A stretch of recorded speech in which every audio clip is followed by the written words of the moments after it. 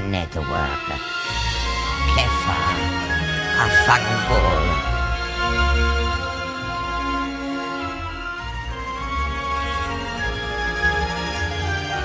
Welcome to a special Foul Mouths Network preview. Foul Play. The Last Don and the American Mafia. Here's your host, Mr. Cunny Chris, the one and only Lucky Lo, and Foul Mouth Ken. Kefa. Uh, Bafangul Mamara. That's correct. No, all right, let's stop. Changing it up tonight. Yeah, man, it's a little bit of a little bit of a cool preview. I'm uh, we're psyched about doing this show. Uh, this is a good one. the Gotti movie is coming out this Friday. John Travolta plays Gotti. Um, Great actor. it's gonna be a big film. Um, uh, I guess you know it comes out this Friday, so. And Travolta apparently pulled a John Candy in the sense of he. I mean, yeah, not a John Candy, a Jim Carrey. Sorry. Oh, I was gonna say He pulled a Jim Carrey, John Candy. He pulled a fat fuck. No, uh, he he actually pulled a Jim Carrey, and he like stayed in character, and really, really just really honed in on the character of John Gotti in this movie coming up. And they they're saying that he's going to win an Academy Award and blah blah blah. So there's a lot of hype going into this film coming out on Friday. This guy's a legend. Um, if you lived in America and you're, you know, 25, somewhere in that age, you remember this guy, Don, uh, John Gotti, um, took over basically the whole entire mob with one hit. Don. And um, if you, especially if you lived in America, you know who he is. And if you lived in New York, you definitely know who he is because all of us in New York have seen the paper articles and the, uh, you know, all the news and and all the shit that has you know has happened with him over This the years. guy got out of jail so many times. Well, that's why they called him the Teflon Don. Teflon. He beat he beat three cases in a row like it was nothing. And on the fourth case, the government knew they had to get his lawyer away from him. So what they did was they concocted this plan to say that the lawyer might come up in some of the questioning in the up and coming case. So his lawyers were banned from being there for him on his fourth case, which he winded up losing and going to jail and dying in jail uh, jail years later. That's right. Um, but he was untouchable, man. He was uh, he was the last Don. He really was the last Don in New York and uh, or in the mob, really anywhere, because it's just not like it used to be. I mean, Right. it still does exist, you know, but whether you're of Italian descent or not, I feel like everybody knows about Gotti. You know, he's an interesting character. I mean, it's, yeah, he had that Well- crazy personality. He was out there. yeah, he was. Yeah, and a lot of people, a lot of real mob, not that he wasn't a real mobster, but a lot of mobsters didn't like him. No, not at all. they all. say he was technically the one who actually He flaunted it. brought down the Yeah, he flaunted it too much. They said he he made it look like it was something of being a celebrity. Right. Um, he wasn't hidden at, at that point. But He was out in the but you want to know something that that segues us into what we're going to be talking about today, and it's definitely John Gotti, but the American Mafia in in general, and we're going to go back to where it all started. We're going to take you down that road if you don't know it. If you do, come and hang out with us, and uh, we're going to go down the road of the American mob and how it formed, you know, and what it was uh, by the time a guy like John Gotti was the don of the whole entire thing, and what it is today um, with the opening of this movie coming out this Friday, uh, starring John Travolta, who is very much um, Italian, knows that whole scene. Has I don't think he's lived it, but I'm sure he's he definitely knows about it. So I mean, and, and he really enthralled himself into this role. That's what a lot of people are saying that he really just lived the character of John Gotti. Well, um, and also his his wife played his his Gotti's wife in the movie. So I read a thing where they were they were talking, you know, like all Italian and everything at the house. Yeah. You know. Yeah, Well, let's go back to how it all began. I mean, as far as in Sicily, um, they were poor and treated like shit, basically. So Yeah. they would form these groups, these clans, to fight back uh, the government. yeah. Right.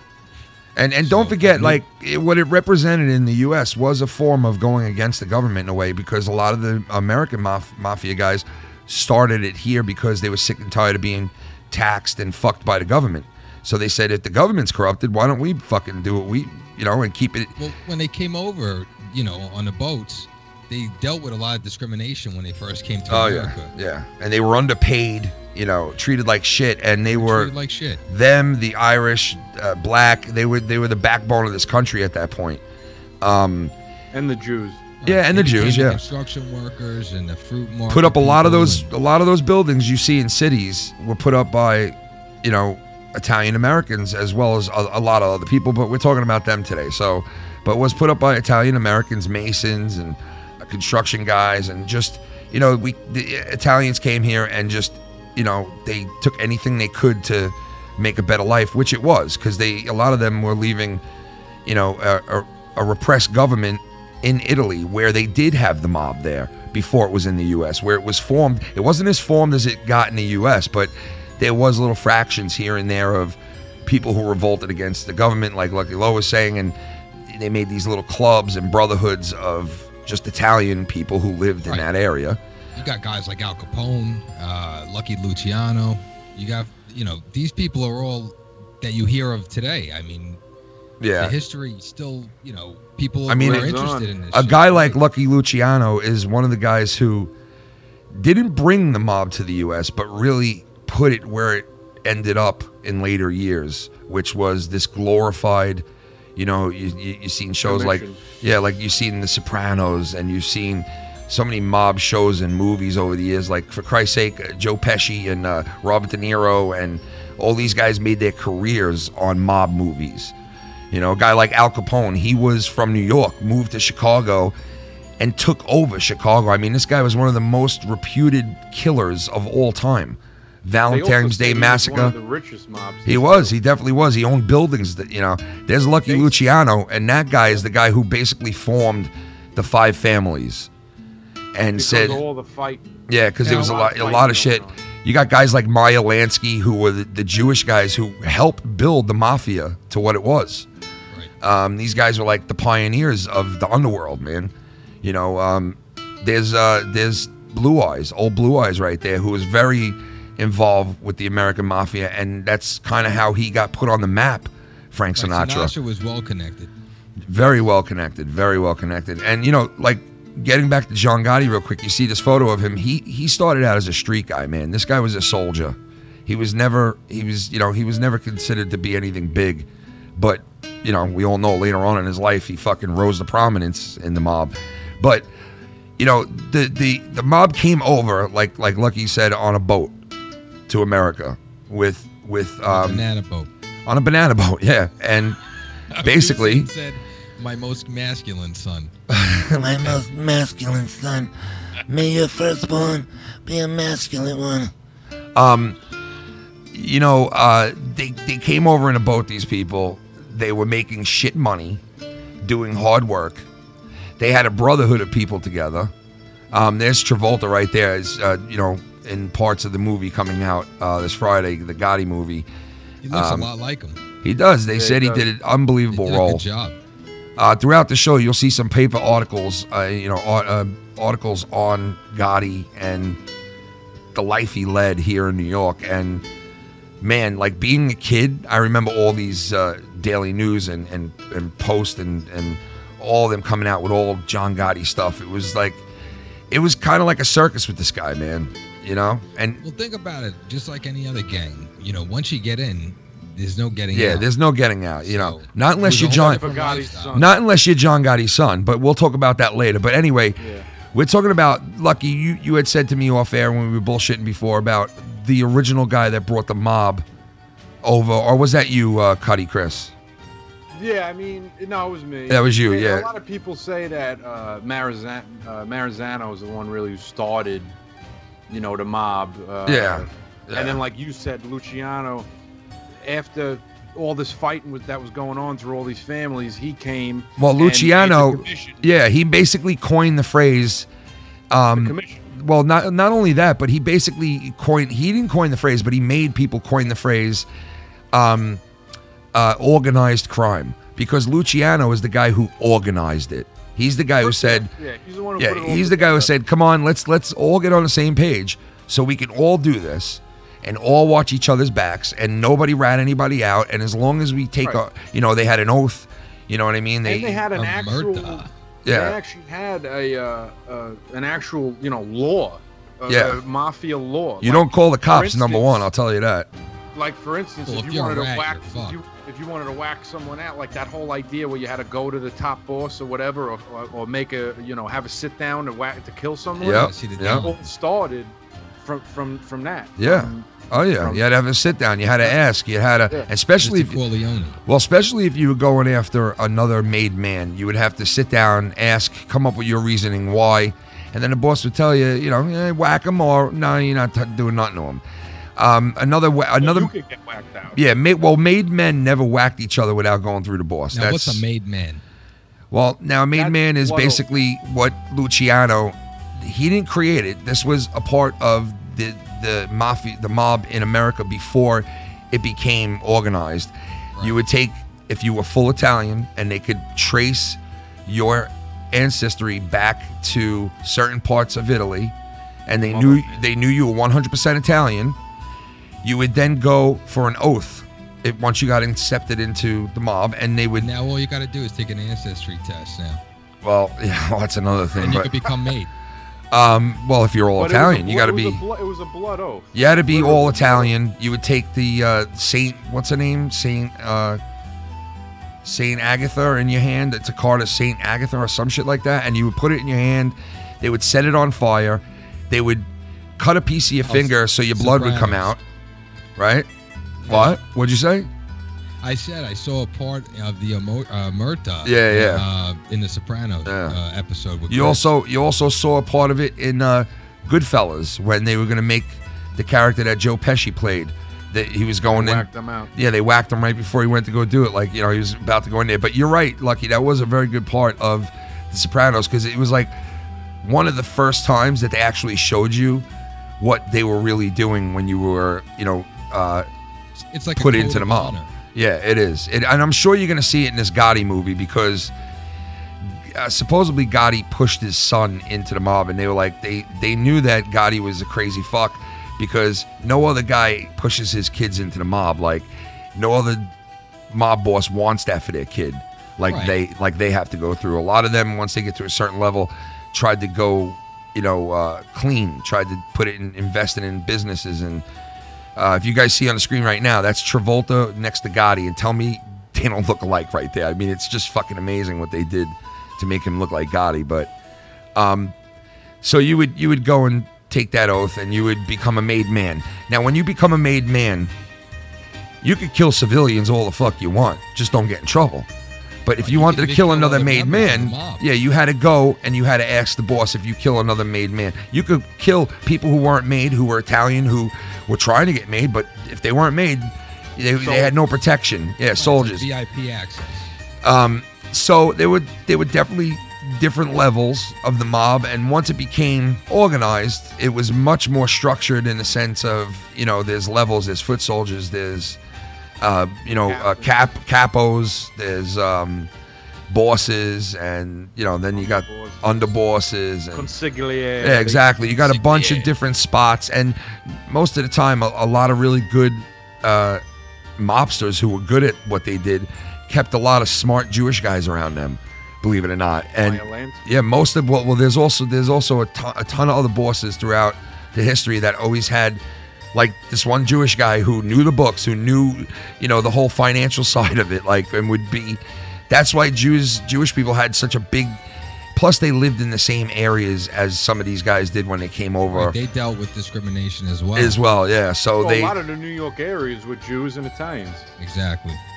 That's what it really Yep. mostly was, and the New New York really was Jews Then and the Irish came. Yeah, and the, and when the Yeah. Irish were here, they became the cops. Honestly, they they became the cops.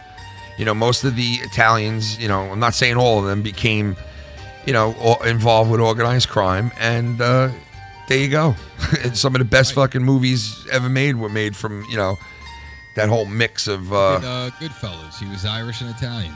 yeah, couldn't be made because Italian he wasn't 100. percent You know what I mean? You got to be 100. Are you talking about percent Henry Hill? Hendry. Henry Hill. You know, Yeah, Hendry. yeah. One day you might fold on the questioning, Hendry. You know, Hendry, I think one day you might fold on the questioning, Hendry. And he did fold, And he did, like a fucking two dollar suit. and that was a, that's a real that's a true story. Yeah. True story. Yeah, Henry Hill really did rat out. Uh, And I uh, love the movie? Bronx Tale. I love that fucking movie, and I love that actor. Yeah. Um, Oh, one- uh, the one the Chazz kid- Palminteri? You're yeah, talking about he's a great collagenal, collagenal, Oh, you're talking about Yeah, collage collagenal. Oh, he's in jail now for real. No, he got is out. he really? He shot a cop. He got out, dude. He's Holy out. shit. That guy's out. He's out now. Yeah, he's I thought out. He got like 25 to life. or Nah, he's out, dude. Time served. something. You sure? Swear to God, he's out. Last I looked, he was out. You know what I mean? Anyway, it's a great movie. And yeah, it really it, it's it, it is a good movie, and a lot of good movies are made from the whole culture and the whole fucking. Um, but Well, you it's an you know intriguing. It's an intriguing culture. You know. it is, and it's like cash the easy way. You know, like think of it this way: you can go hump your ass five days a week, six days a week, seven days a week, like these guys used to work back then. You know, uh, pulling steel up on a 50-story building that you helped build, dangling off the side of death, and all that shit. Or, or you can go and make a couple of armed robberies, or make a couple of fucking, uh, you know, Well, not even that. I mean, a strong arm some people or and make your money and more of it faster like what, what would you do back then you know what i mean I would definitely be a part of that life. To- you know 100%. Me personally, I know I would yeah nobody wants to fucking kill themselves. It's a lot different nowadays. I mean, they have fingerprints and they can. Oh, get oh it's- yeah i mean nowadays it's Listen, it's the, the, the mob is whole still different ball around. game They're still 100%. around, but It's they're just It not is. careful about what they do. a lot yeah they- a lot of a lot of people say they crawled back into where they. Yep. When when when when it first started, it was a very very quiet thing quiet thing. yeah it was You know what I mean? nobody And talked about it you didn't No one mention it Talked about it. Cer- yeah, exactly. certain things were never spoken about between them either. Like these guys that would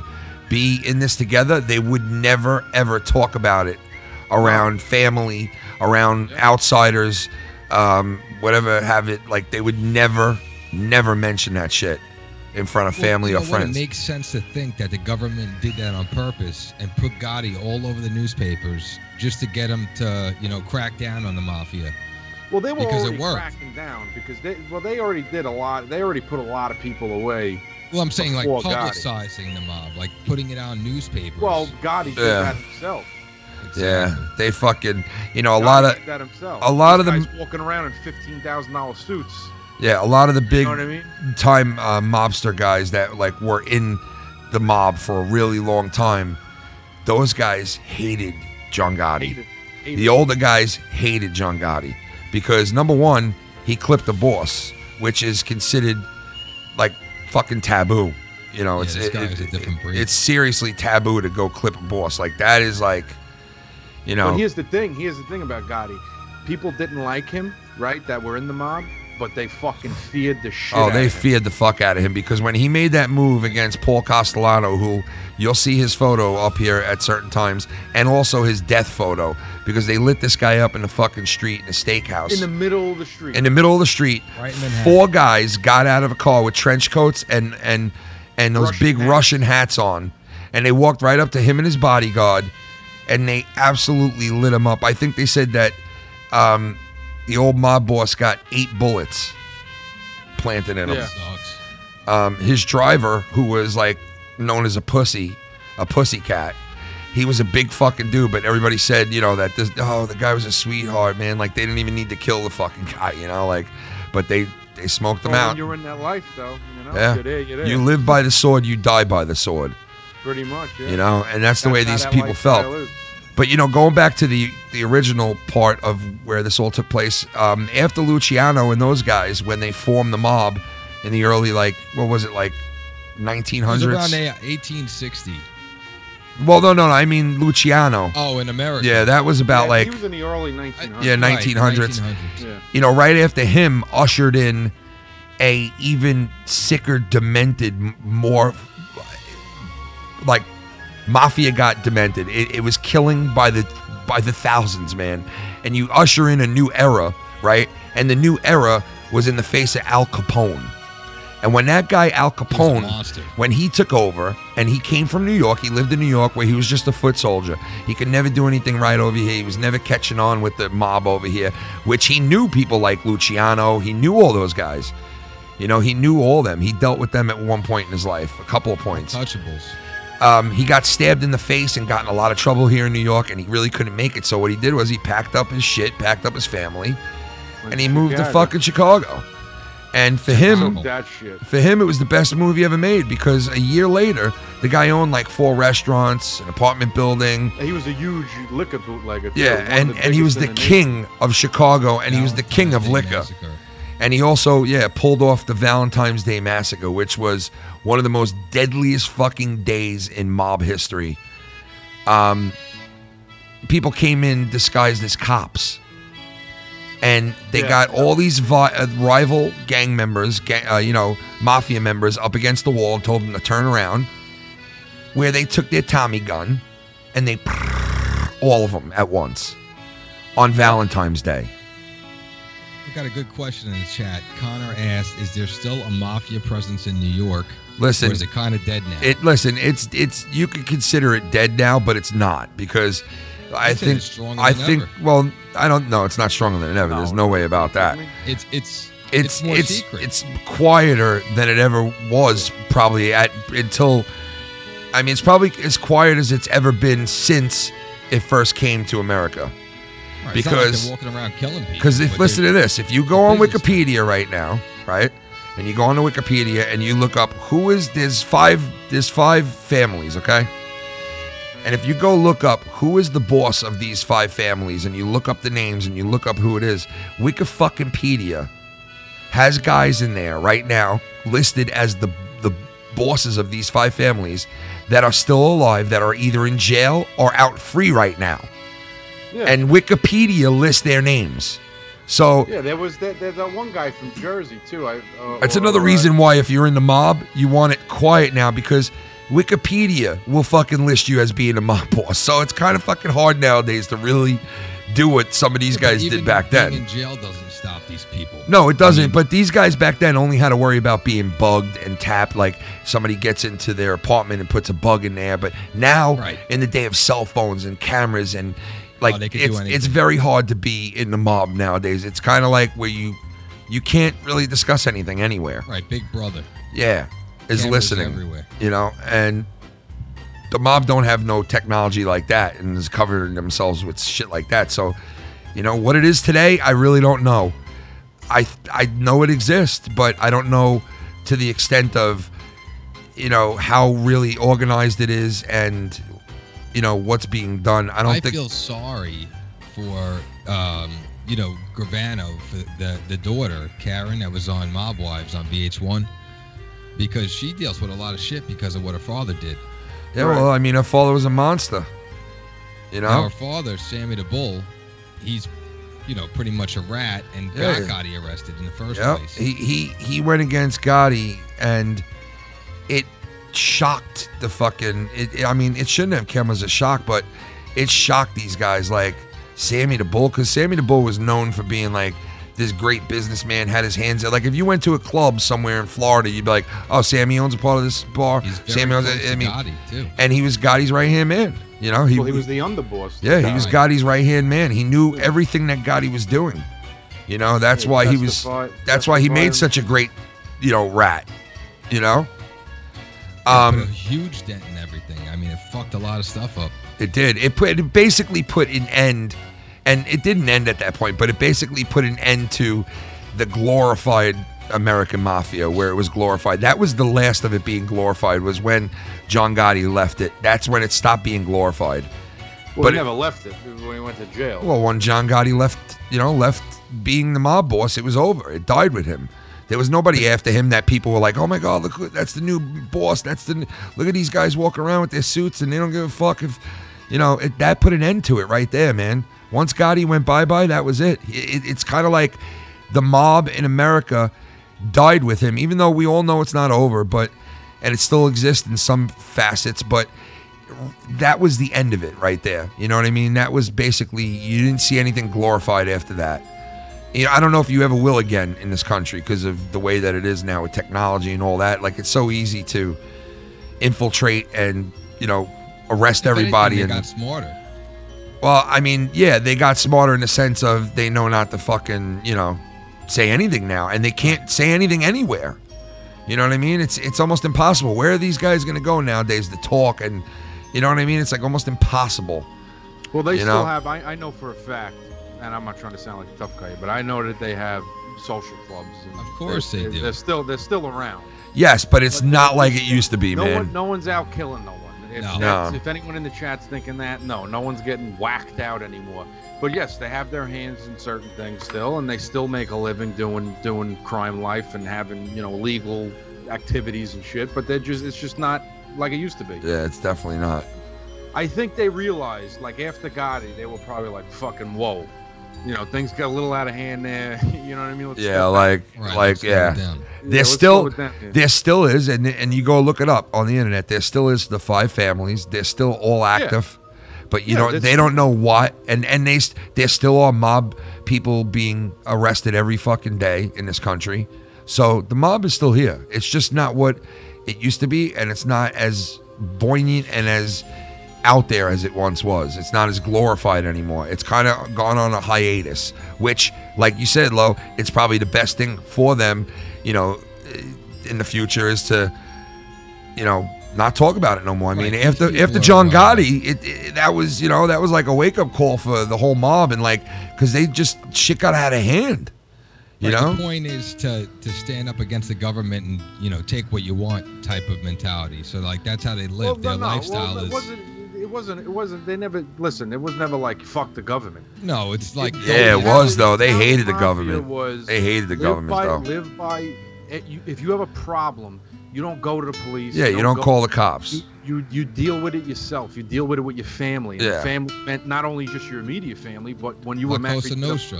Yeah. Exactly. Yeah. Cosa Nostra. It's the Yep. same- it's- that, that, so it wasn't like they were sitting there, fuck the government. You know what I mean? No, but they were. They were. They fucking could not stand Well, yeah, the no, government. they didn't pay their taxes half the time. Yeah, no, they never pay their But- fucking taxes. You know, that's the I last don't thing they think do. that's what they had in mind. Think what they had in mind was just like this is our lifestyle from back home, and this is how we want to live here. You know, and then you got American-born Italians like Gotti and shit that, again, I think just brought it to ridiculous. Well, you got to think about it too. They had cops on the payroll. Oh, you know, they had a, like they had everything on the payroll, right bro. when you have Everything on government the people on the payroll. I mean, that's Yeah. when things start to get messy. Yeah, Yeah, definitely. And when the feds went after him, they went after him hard. hard. Yeah, hard. Well, that's when that whole RICO thing they applied. a Well, lot not of that not RICO only stuff that shit. is they really look fucking stupid It's when like what happened in Sopranos. when Gotti beat them about fucking four times in a row, three times in a row. They looked Yeah. so fucking bad. They they just they couldn't afford to look bad anymore, so they fixed. The fix was in on that last uh on that last case that well, if Gotti it wasn't caught. For Gravano, he, he probably would have never even got put away until another fucking 15 years. He he probably could have, if Gravano never testified or whatever, I bet you Gotti could have went another 10, 15 years, no problem. Definitely. Yeah. He Yeah. would have went into the fucking 2000s. I'm telling you right now. He he would have kept it still alive. Once Well, was I mean, gone, he he died what in uh, 04. I So believe so. yeah, um, I, yeah, I think you're right. I'd agree with that, man. He probably definitely would have, uh, you know, He died but no two. He died no two. Okay, I was gonna say I think it was 02. Yeah, oh, was it He 02? died- He Okay. died in jail in 02. Yeah. Um, But still, nonetheless, you know, you got to also question too. Did he really get the you know medical? I mean, you're in jail. How much you know medical attention are you getting? They didn't want to give him attention. Uh, obviously, yeah. They Yeah. wanted him to die. Probably. yeah. Well, the, uh, you know, uh, there's. What, I what was explained that that. whole thing that you told me about the body? Ken? well, that's what I was gonna just say. That's funny. Yeah, definitely. Uh, I you know like when when Gotti died, um, he uh, you know the the, the the family had asked for certain things when he was gonna die because they knew he was dying and all that shit. Um, he was really sick at the end of it. So if you go see the movie, and I don't want to give away too much shit that's gonna be in the movie, um, and I'm sure this part will be at the end there, but um, you know when Gotti died. he's dead already. So, Yeah, well, no, but like- but they, you know they don't know what they did to him. I mean, it was so fucking disrespectful. It was just. But when Gotti died, the uh, the government, you know, had his body or whatever because he was in a government jail for the last years of his life. And um, this one of the sons, the Gotti sons, went over to uh, see the body of their father and everything, and they went to the um, the the funeral parlor where the father's body was after they took him out of jail because he died in jail.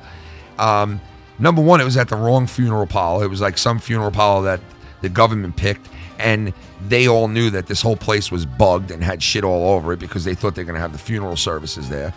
Uh, But when his other son comes into the room to go view his father's body, he says that they had his father in the coffin and they had him in a fucking cheap government issued suit and they had him like propped up with like this fucking stupid makeup on his face and his hair which was like all fucked up like you know complete disrespect to them Yeah, and when the son up. got there he flipped the fuck out and was like i want my father moved this is not where he's going to be and blah blah blah and the government was like no this is where he's going to stay and they also had his hands cuffed okay this guy was cuffed in the in the coffin casket. and yeah, in the is that? coffin. And they were like, and the son was like, Like, why the where's he f-" gonna go? You know, he screamed. He's like, oh, why do you got my father fucking cuffed? And the guy was like, well, you know, and he's like, no, what is he gonna fucking escape from jail? He's fucking dead. Like, Guy's are you kidding me? You know, and it was a really big fucking fucked up thing that, you know, it was, it was they knew what it meant to Italians, especially, you know, that Italian. Um, to be, you know, handcuffed in the fucking coffin because Well, when you die, you're free. Yeah, and you want to know something? When you die, you're free. And he said to his family, I do want to die because I want to be free. I don't want to be in this fucking jail no more. And this is the only way out is if I fucking die. And then I'm free. And then these motherfuckers can't get me. And he actually said that to his kids. He's like, and then these motherfuckers can't get me no more. And they heard every word he said because they were right there listening when he said it. Because it goes back to what a part that's in the movie that I don't want to give away. But John Gotti's son comes to him before he dies and wants out he doesn't want to be the same man his father He is, doesn't want to live that life. and he figures that out like years into him being in the in the you know the family already. I mean, but anyway, um, and you, you have that whole story, and I don't want to give too much away if you're going to see the movie, like I said, but um, they totally disrespected the family. They handcuffed the man in the coffin because they knew that he said all that shit about being free and they can't get me then. And he said it to his son, like never, and he even like flaunted about it, like when I'm dead, you can't fucking touch me, you know, like I'm gonna do whatever the fuck I want. Then there's nothing you can do about it, type of thing. And they had other thoughts. than rotten in jail. They had other thoughts on that. The government was like, you know what? Fuck you. We're gonna slap some cuffs on your ass while you're in there. Well, he fuck. was a hard man to uh, get locked up, so that was the problem. Yeah, that's so- why they hated him. Yep, they did, man. They They, treated him like they shit really did. You know, it was a shame what they did at the end there, but and the family took big time offense to it, obviously, and uh, they had you know Gotti moved and brought to the place where he was supposed to go, and they had him dressed up in his suit. He was he got to wear his suit for the last time. They said that like Well, that's good. you know, he got dressed up in his best suit that he had, and uh, you know that was it, man. Uh, the last mob God boss, bless. like the last, you know, storied history in the mafia, the American mafia, which has been around for a very long time, and I that, that was part of the reason why our um, FBI was formed, and a lot of these, you know, agencies in law that were formed because of the mob. Because at first they were bootleggers and they couldn't be stopped. There was so many of them. It was fucking, you know, it was like they were, you know, it was big time bootlegging and Well, they were just as smart. Yeah, they- as, they uh, controlled you everything a at one point. Agency. they were. That's yeah, you're right. And they had as many men, Very loyal organized. men, and you know that whole thing. So you know, it's it's And talk about Al Capone, like we told him before. He, he they say that his net worth in today's oh yeah, uh, money he'd be up there. is around 1.4 billion dollars. Wow, billion. Billion, yeah. Wow. billion. They say at one point he was responsible for like I don't know, fucking 70 percent of the alcohol in this fucking I think country. Yeah. Was only worth like 10 mil. Uh, he was up there. No, I think he was worth more. Yeah, let me tell you, man, bootlegging was. Well, you got to remember though, look. that's the thing yeah, that started the mob, bootlegging. That's Yeah, what boot- actually started it, man. When they did the whole, uh, you know, uh, what, what was that called, Ken? With the without the alcohol. Prohibition, that- prohibition, yeah. When they did prohibition, the mob took over on that shit. Yeah, dude. It was like the They government. It was like the government gave them a new industry. They were like, "Here you go. Here's a new industry Yeah. for you guys." Here you go. You know? take all of the alcohol sales in. Then you the get United States. speakeasies. You get a ton of speakeasies opening where they're selling Yes, fucking yeah. alcohol in there, you know, and they're making a killing selling all this alcohol. Then you got the guys who are making the alcohol and they're coming in from from the And south. stepping on grapes. Then you had the guys who, yeah. then you had the guys who fucking would put it in their cars and fly to the U.S. with, you know, not fly to the U.S. but fly to New York and fly to Boston and like in their cars, like drive fast and fucking try to outrun the cops. And these guys were, you know, and these were Italian people who were paying for the stuff to be brought there, and it turned into this fucking industry of just illegal everything, you Al know. Capone paid. But it was before drugs. Al, yes, yeah. Al Capone actually uh, beefed up all of his like you know cronies' cars there. You know. Yep, yep. To knowing that he actually bought a police car and made his cars faster.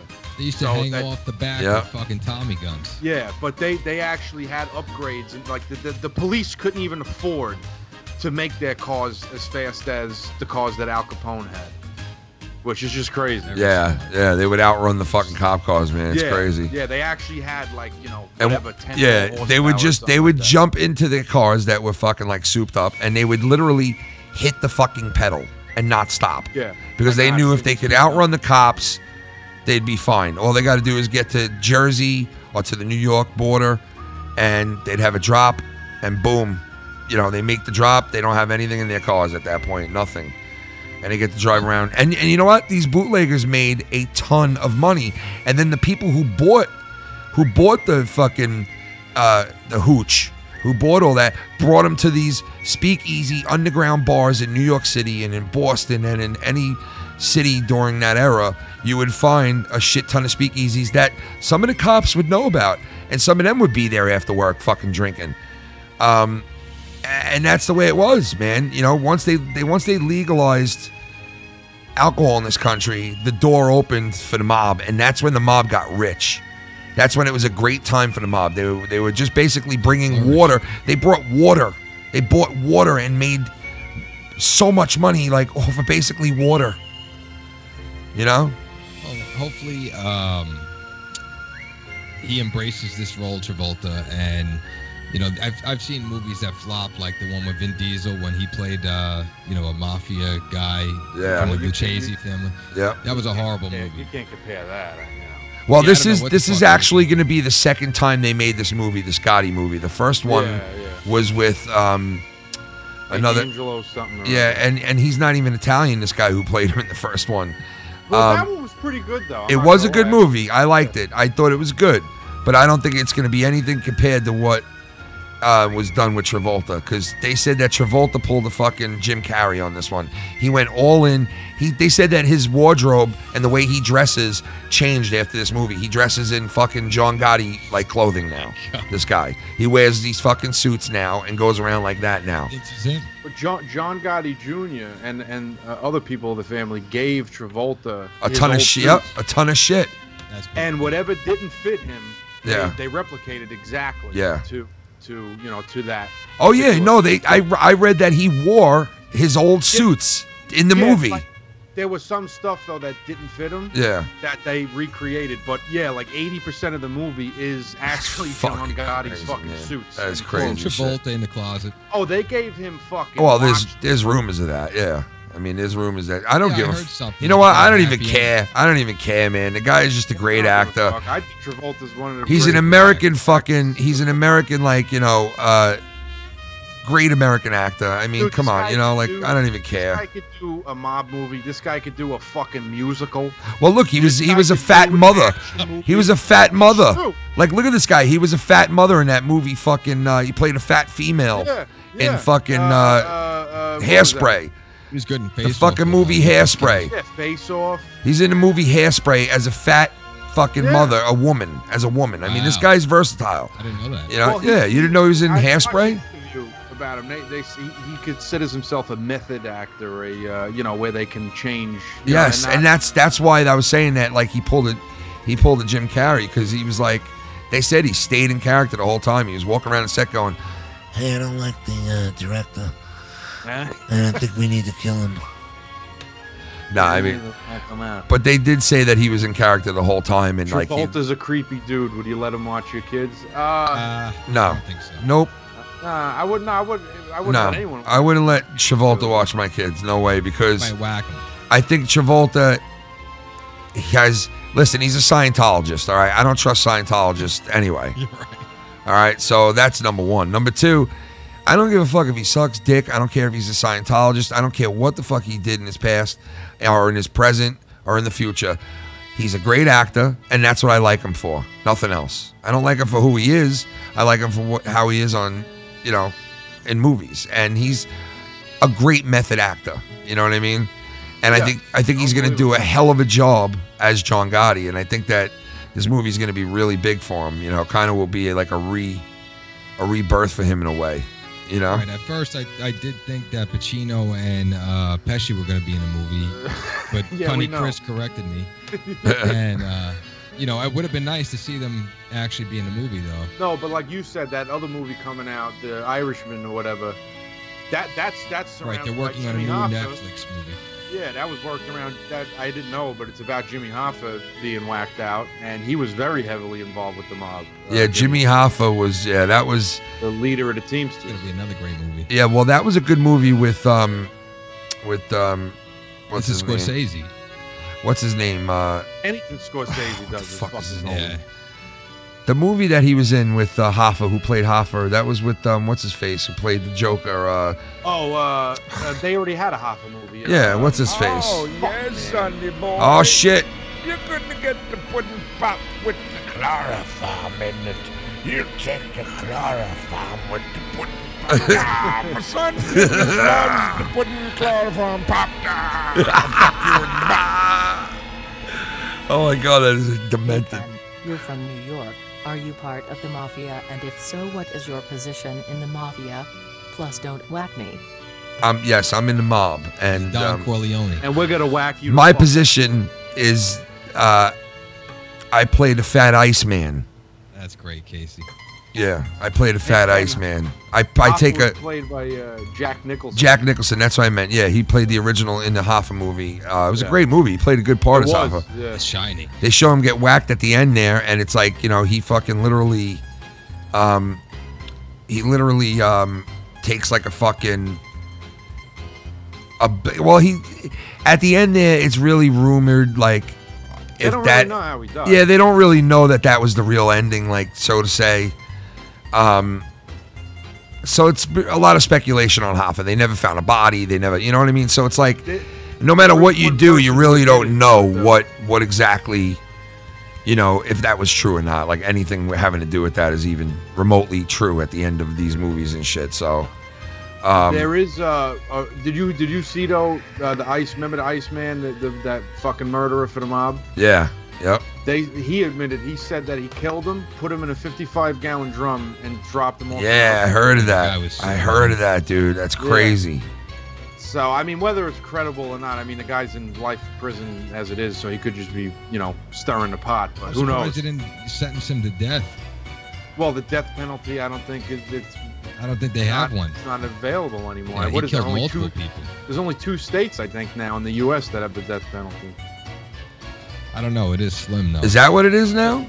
I think it's only two states. I don't know if anyone in the chat can correct me. I'm not going to look it up. what I, states? It's only two they have states that have the death penalty I now. think it's two states. Yeah, yeah, wow, yeah. I'm, I'm almost can help us certain. Yeah, that's crazy. but yeah, he admitted to whacking out Jimmy Hoffa. Um, but who knows? yeah, know? but then but then they never found a body though. So it's like, no, they never found the body. They Yeah. say that he fucking put him in a 55 gallon drum. He probably chopped them in pieces. Yeah, he, well, no, he said that. He said he chopped them in pieces. Uh, there were two. That was it. There were two 55 gallon drums, filled them with cement, dropped them off in a boat in the middle right, of the you're not fucking- fighting that. No, you're not finding it. You're not finding well, it. no, no, definitely not. Yeah, definitely not Finding finding it. scuba divers and shit. I mean, if yeah, if they did that to him, he's gone. There was a rumor that he was in Giant Stadium for years. He was buried in the end zone area of Giant Stadium, which Florida and Texas. I they- don't. they Rhode built- Island says Florida and Texas. I don't think Florida though. They- think Texas no, no, I is think he is right. No, no, I remember seeing something recently about Florida. I think he's correct. They And built. New York, uh, you're right, Chad. New York does technically still have it, but they haven't used it in decades. they went and built uh, Giant Stadium the same, almost the same exact time that they that Hoffa died or was taken. You know, was went missing. So that- a lot of people, that, yeah, a lot of people thought that he was buried in the end zone at Giant Stadium for the longest time. So, I mean, you imagine though? They they Yeah, but when they when they stadium? yeah, but when they knocked down Giant Stadium, obviously there was you know there was no remains there that they saw. So, Can you um, imagine though if they did? God, man, could you imagine? Fucking They, graveyard. could you imagine they actually like found his body and like confirmed? Yeah, he really Imagine, was like, Giant 15, Stadium. Yeah, but from now, listen, but wait, wait, wait, wait, wait. Imagine they turned around and said, "No, we do, we did confirm it when we knocked down Giant Stadium that it definitely is Jimmy Hoffa. We confirmed it through DNA, right?" And they turned around and told you, "Yes, he has been buried there for the last forty years." Now that you confirmed it, you know that every fucking game that's ever been played there, all the fucking touchdowns, all the times they rumored about him being buried in the end zone, he was there the whole fucking time. It was a spirit. Like what the fuck, Phoenix dude? says in the chat, death penalty was legal in 31 states. Yeah, that's what I thought. I was like, two states. What are you All right, talking well, about? Let me. I'll, I'll refrain. I'll re-say what I said. Yeah, it may be legal, but there's only two states that have implemented it in the last whatever decade or something. Uh, the, the other states that, like like Chad said, Oh, they haven't York- given the be- the death penalty. Right. They haven't. The Yeah, I got you. Shock you with, with the fucking helmet. I got you. No, no, no, no. That that hasn't happened since That's the barbaric. 70s. That's that- that- fucking barbaric. They've been injecting, you know, people for many Right, they years. put you to sleep. Yeah, yeah, you don't really know anything, but there, no, there still is people on death row, but uh, you know, in certain states. But I know a lot of states don't use it. Yeah. They think it's too It's- heinous of a of a. I mean, of- if you if you killed multiple people, I mean, yeah, if you're a mass murderer. I would murderer, say I that's an mean, exception. The, the punishment should fit the crime, right? right. So Yeah. they gotta, you start, know, they gotta start rocking people again. Start to throwing rocks at people, they're stoning them. stoning them, start stoning people. Jesus, man. I mean, uh, you know, I don't think any mobster has ever been put to uh, to death, like death penalty. I don't think that's ever happened where they've honestly been put to like, you know, What mobsters? yeah, like certain mobsters have No, been put don't to, you know, so. death or whatever. It's like when you saw that in the movie Goodfellas when they're in the jail and they have their own little room all together and they're making. Oh yeah, yeah. and- Back then it was, you know, it was uh, if you went to jail, you didn't rat anybody out. You served your time. You shut your mouth. And when get hooked up. yeah, and then when you got out, they took care, they took care of your family while you were in there. And when you got out, you had a job waiting for you. You had money waiting for you. You know, it was a different time. You know, now One hand washes the other. a little bit different now, man. You know. It's a different world. It is, and you know, like we said, the the, you know, A lot of feminism. fucking, the way that it was one day looked at, and Oh, how. yes, well, hold on one Sandy second. Boy. You're going to get the pudding pop with the chloroform in. You take the chloroform with Chloroform. My son in his loves the pudding chloroform. The pudding, the chloroform, the pudding. Jimmy Hoffa was buried at the old Giants Stadium but moved to the new MetLife Stadium. Yes. He they moved him to the new MetLife. You're right. He's there now, and uh, he's still getting touchdowns for the New York Giants. You know.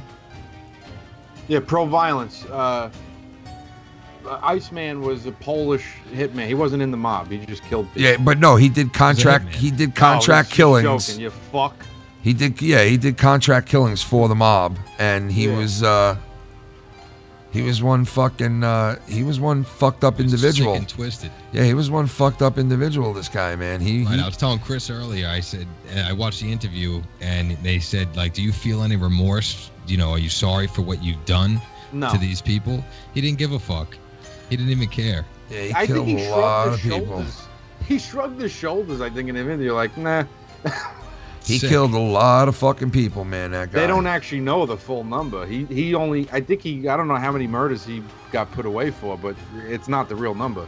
Yeah, no, it's not. He he admitted to a lot of other murders that they couldn't find the bodies or they didn't know exactly where he was talking about. Um, right back then, talk was cheap. Yeah, that that number is very high with that guy. He's one of the biggest hitmen in in the history of The any organized crime or any hitman. You know, in the, in America, he's fucking up there. Uh, you fuck with the wrong guy, you get Iceman coming in. Yeah, I highly recommend to go check out his documentaries on HBO because they're they're just fucking haunting the way you look into his eyes and like what you're thinking Yeah. he's thinking is no joke. This guy, you know, I remember him telling a story about one guy that he went to go kill and he busted into his apartment and he had the guy and he was gonna kill him, but then he thought to himself, you know what? This guy kept pleading, pleading, pleading, and he's praying to God and praying to God as he's putting a gun in his face, ready to kill him. And he goes, you know what? Just once I said, you know what? I'm gonna give you 20 minutes to go pray in that room and you go ask your precious God to save you. And if God sees fit and something happens, or I get struck by a bolt of lightning, or the cops come, or you escape, he goes, then he, he answered your, uh, your command. So I'm going to give you 20 minutes to go pray to your God. And if anything happens within those 20 minutes, you're going to live. If something doesn't and your God doesn't answer for you, well, then I'm your God and I'm going to take your life. So the guy fucking got, went into the next room Powerful. and he sat in the next room praying and trying to, you know, obviously thinking like, oh my God, please, like, like I got to get, please, please save me, do something. And the 20 minutes were up and the guy went into the room and he looked the guy in the face and he was like, you know, uh, that's it, man, you're done. And he's like, no, please, just don't do this to me, please, please, please. And he said he put the gun in his mouth and he fucking pulled the trigger and shot him right through the fucking head Damn. and that was it. You know, and that's how that's how this fucking that, that dude was. He had no mercy. He had no fucking. And then he went home to his They had no beautiful wife and beautiful kids. And yeah, they had no fucking idea at all, at all. He also said in the interview that he fucking killed uh, like I think three or four people that were in a van that just passed him on the highway one night. That he got pissed off, so he flagged them down, got out of his car, and killed all four of them. Wow. Yeah, I heard about that too, man. I Just did. shot him in the head, left him there, and see you later. I heard about that. Like you got to be a stone cold fucking killer to just do because Right, but the, wi- the wives know to some degree. I mean, they live a certain I- of lifestyle, course, so they of have to know. Yeah, but I, I forget what his front was, but his wife thought he was like some type of fucking I don't even know what a salesman or something or whatever. Yeah. She really had no idea that this dude killed you know whatever hundreds of people, Wow. Jesus. which is crazy. How do you hide that? You know what I mean? How do you hide that It's a type? double life. It, that's crazy though to me. You know, like Yeah, like how you I could. couldn't Yeah. imagine killing people and then hey honey, what's the deal? I know, I know, and and they said that he went home and lived such Lived a a normal normal life, and like you know everything was great, and you know, Unbelievable. Fucking crazy, man. It really is just insane. What, what are you laughing over? I'm laughing because Billy Ricky wrote, "God damn that one dude's nose." Oh, yeah, that one dude's nose is like a fucking ski lift, bro. That's Carlo Gambino. He would Yeah. have fucking whacked you out. Yeah, you looked at his Talk nose. He used to whack people out for looking at his nose. You looked at his nose. Like wrong, even if you just looked at the at his nose, he'd be like this. He'd be like this to you. You go, or out of nowhere, he'd be like, "Oh, you're looking at my nose." And then Billy Ricky'd be like, Ah, hell no, man. I ain't looking at your nose, man. What the fuck? Yeah, I seen you looking at it from across the room over there. Looking at my fucking nose. You got something to fucking say about my nose? Ah, nah, man. Ain't got nothing to say. It just looked like a fucking ski lift to me, man. You motherfucker, you. Fight words. You cocksucking fuck you. Hey, man. Ain't my fault you got a good cocaine nose, fucker. "Yeah, that one guy's got a fucking hooky." Um. Yeah, man. Oh shit! I just had this shit drop out. Are we lagging right now? No, right? No, I think we're No. All right, we're good. We're good. Um, yeah. Anyway, uh, but yeah, that's the way that uh, it went, man. It was glorified when you had guys like Al Capone and you know Luciano and uh, all these guys who fucking It'll never be lived it up, and and and it came all to a head in the '80s with fucking uh, the Teflon Don, who flaunted his money, flaunted who he was. You know, didn't give a fuck. He he lived it And up. This, you know? this guy walked around in fucking fifteen thousand dollar suits with hundred thousand dollar Rolexes on. Yeah, man, he didn't give a fuck, dude. He didn't care who knew. He didn't He give was a fuck. He was really living a life. He didn't care who knew. He didn't care who speculated. He didn't give a shit. When they asked John Gotti's wife what her husband did for a living, she said provides.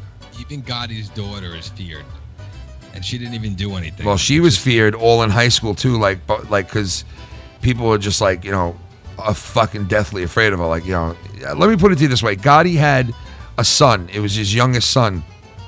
When the kid got on his bike, ten years old, one day, went outside on his bike, went across the street, went down the block, got hit by one of the neighbors, and got killed. And Gotti and his wife were fucking devastated by it.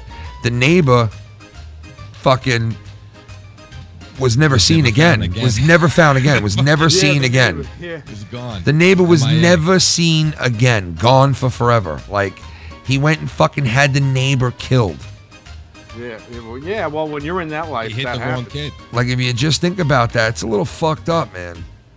You know, it's like this guy obviously didn't mean to fucking, you know, kill this kid, but uh it, it happened and and now that guy was fucking never found. That He's guy had an accident. Yeah, that guy had a bad accident and he's never seen again. He's probably upstate New York somewhere, fucking, you know, a bag of bones by this point, you know? Right. Um, but yeah, that's what happened, man. You fucked with one of these guys back then and you were you were done. There was just no questions about it. You didn't even see it coming. You know, it was two to the back of the head and you're gone. Yeah, especially if you were just a civilian. Oh yeah. At least if you were in it, you knew like, oh, you had the vibe of like, oh man, yeah, they're gonna whack me. You know, you're Yeah. a civilian, you just don't know shit. You know, you catch one in the back of the head out of nowhere. You don't even know you got killed. You know, it's a little like fucking what's his name? Um uh the guy that that Gotti killed to take over the mob, fucking Castellano. Oh, Paul Castellano. Paul Castellano was not a street guy. He was not from the street. That's why Gotti. That's why Gotti didn't like him. Gotti, Gotti surround, surrounded himself with people who were street guys. He didn't like Right. the rich business to be in guys. Street gangs when he was young. And and Castellano was 100% businessman first. He was all business. Gotti fucking hated that. That's why when Gotti killed Castellano, he not only became the boss of that family, the Genovese family, but he became the biggest boss in the mob. He ran the whole entire mob, and I'm talking all five families. He was Right, the don. America. He was the guy at that point. He with that when he killed Castellano, he took over the commission. He because everybody's afraid of him at that point. Even other mob guys were afraid, deathly afraid of him. At that point, everybody was like, "Holy fuck, this guy took over the whole fucking thing." He was a foot soldier ten years before, fifteen years before. This guy rose up to become the Wayne Gretzky of the mob. Do you understand what I'm saying? Like he was a phenom. This guy came out of nowhere and fucking was a street guy, a foot soldier. You're talking Paul Castellano was a businessman. He made millions of dollars for his family and other families. That's why he became a boss because he Well, made well, money. He was in- Carlo Gambino's bro- brother-in-law. Yes, but but he was a very smart fucking businessman, savvy. He used to invest all the mob's money in the businesses yeah. all around and wanted to make the Genovese crime family a reputable family that had legitimate businesses throughout the world. Right. And he, that's what he was going for. And Gotti just came up and said, ah, you know what? You're not going to go through with those plans because you're dead. Well, You know? he was so La Cosa Nostra. Yeah, and the You know, guys like, loved him. By the book, they Della Croce they not only yeah well yeah he should have been you'll see in that movie without giving too much of it away but Della Croce was John Gotti's groomer groom Gotti you know taught him everything he knew he passed away from cancer. yeah and he was a street guy too himself Della Croce so Gambino's underboss. yeah And how it works is the underboss, when the boss dies, the underboss goes and fucking, you know. So Gotti took it as a spit in the face when they fucking, you know, when he gave it to uh, this guy who wasn't even on the street. yeah so He was just the fucking business owner, the And- businessman. I mean, he was a crooked one, but he was a businessman. yeah and then he took it over and uh, you know it- the guys did not only fear him but they loved him like they thought he was you know because he was flamboyant and he was everything that every mob guy wanted to be. That's what he was. He, he exemplified like being a boss. And so when he took over the the other five families was so deathly afraid of this guy that everybody basically said don corleone you're the don man. You, you kiss the we'll kiss your ring. You're in charge now of the whole thing. So for that little bit of time from when he went to jail and he killed castellano the next day after he killed Castellano, man, people showed up to his uh, his uh, meeting you know, place over in Queens, and there was a line around the block to kiss his hand, like to fucking go in there and pay respects to John Gotti, and it was like something that's never been seen before in the world of you know organized crime. Like this guy clipped the boss, and everybody went with it. Like uh, there was a lot of people who who thought that they like some people weren't going to go with it. They were going to revolt against him, and there was a um, there was a attempt on his life. A couple of them after he killed Castellano. Other people tried to kill him. You know, you know, Tommy could have been in the mob with that fedora that he has on. I don't know, no Tommy. Anyway, but anyway, um, yeah, you know, he he he did have attempts on his life after that. John Gotti. Uh, other people tried to kill him too. Well, his So- friend died from that car bomb. Yeah, exactly. His friend died from it, and um, you know he uh, he basically um, he didn't get killed. He got lucky, man. You know, he got really lucky in the sense that he was able to dodge. You know, all that shit. He beat three cases, and they starting to call him the Teflon Don. He can't get fucked with, and he used to flaunt it too. He used to brag about beating the beating the government. Go look up these videos on YouTube, guys, on on John Gotti, and like there's there's like recordings of him that, that um are like real candid recordings of him in interviews, which takes you into the world of who John Gotti really was, man. Which are it's some crazy shit, but uh, yeah, it's about all the time we got for tonight, guys. Um, I want to thank you guys for coming and chilling out, and uh, Mr. Lucky Lo and uh, Cunny Yeah, I Chris. Can't wait to see the movie. Yeah, the movie comes out this Friday. Go check it out. Uh, John Travolta as John Gotti, and uh, it should be a good one, guys. And uh, thanks to everybody out there who came and checked it out tonight. This was uh, Foul Play. We'll be back in two weeks uh, with a regular episode of Foul Play, That's right. and uh, we'll see you guys. Uh, we'll see you guys uh, this Saturday on Insomniac. Ciao. Peace out, Ciao, everybody. Bella. Ciao, Bella. This was a foul play special on the American Mafia and the one and only John Gotti. Check out the John Gotti movie this Friday at theaters near you. Che fa a fangule vesere sorda, tutte cose baffangule de mammala. Stata zitta a fangule vesere sorda. Piece of garbage. You piece of fucking. stino a ci aggiungella, avangule vessere sorda, a puttanentilla, avangule a mammara.